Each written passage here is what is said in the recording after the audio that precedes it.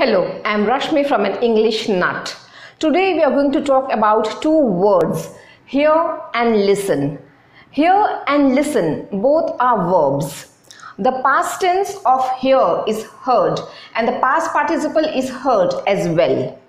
The past tense of listen is listened and past participle is listened as well. Okay, so first let's talk about the verb hear.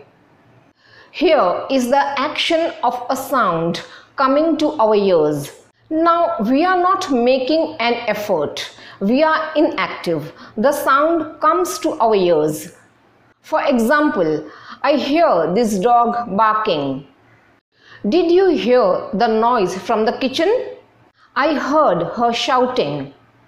A very important point. The verb hear does not have a continuous form. So if you say, I am hearing a noise, this sentence is incorrect. Instead, you can say, I can hear a noise. Now coming to the verb listen. Listen is when we are concentrating, paying attention to the sound.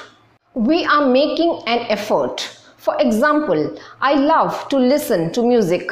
Note that when the verb listen does not have an object, we don't use the preposition to, to. For example, students, please sit down and listen. Hey, listen, can you hear the footsteps? But when the verb listen has an object, we do use the preposition to, to, listen to. For example, Students, please listen to the instructions carefully. You should listen to your gut feeling in these difficult times. The verb listen does have a continuous form. For example, Mom, I'm listening to music. Seema, are you listening to me?